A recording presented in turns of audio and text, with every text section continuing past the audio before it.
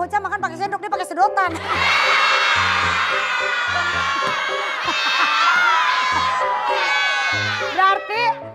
Bukan begini.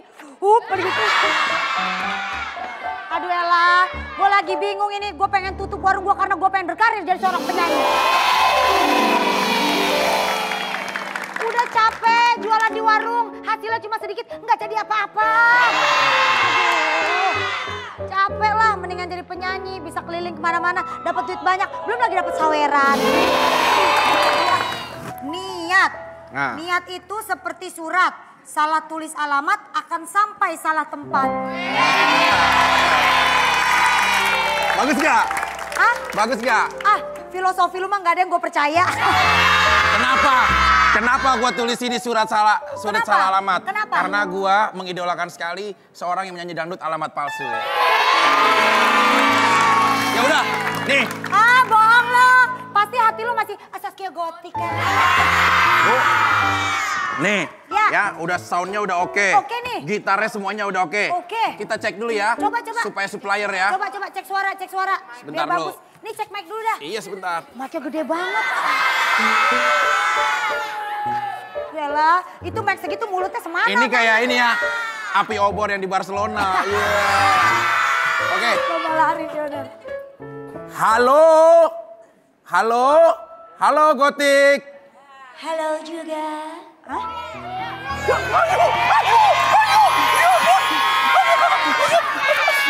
Semangat, semangat. Udah kemajuan pesat. Seenggaknya dia masih mau ngomong halo sama lo. Ya. Coba, lagi, coba lagi. Gotik. Halo. Ayo kita balikan lagi sayang. Ayo. Dibalas. Dengerin lagi. Oh iya.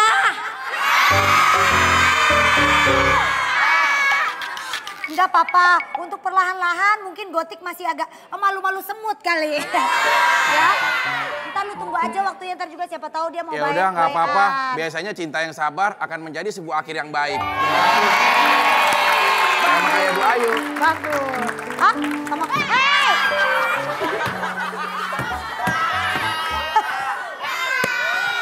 Iya, itulah. itulah karena cinta semua bisa melogikan kepala menjadi bodoh. Mau Oh. bawa juga. Lagi-lagi gara-gara cinta semua bisa lupa.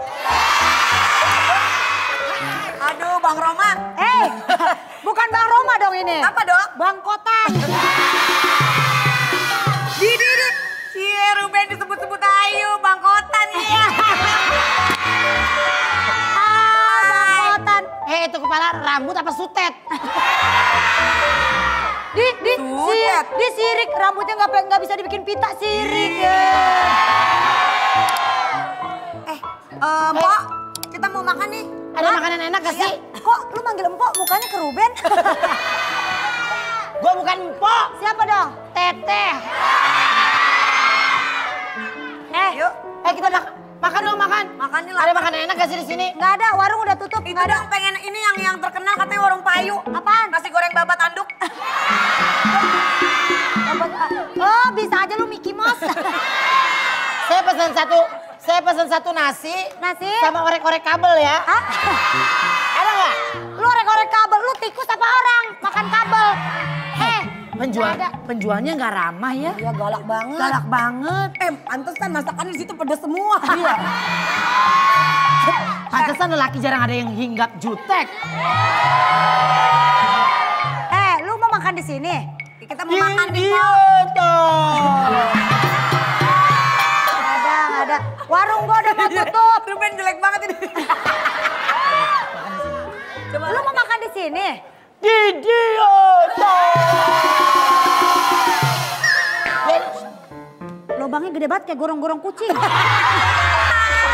Ya, Jo. ah, elah. Ya udah nih, kita udah mau makan nih, Po. Kita mau makan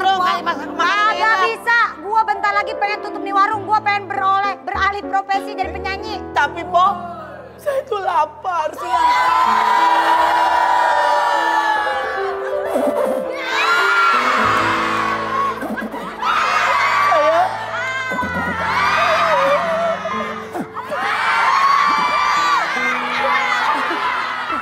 Sabar, sabar. Saya pengen makan.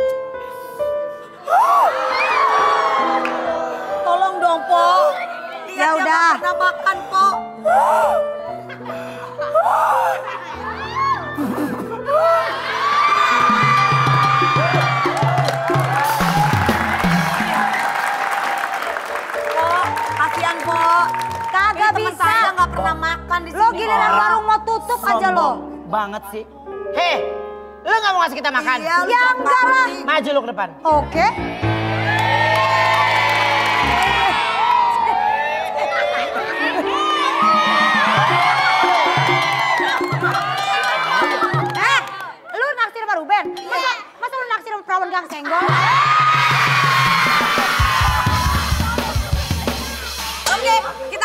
pantun Ruben. Pantun. Musik. Ada timunnya makan kancil. Kancilnya dilempar batu. Si Ayu bodinya kecil. Mirip banget jarum sol sepatu.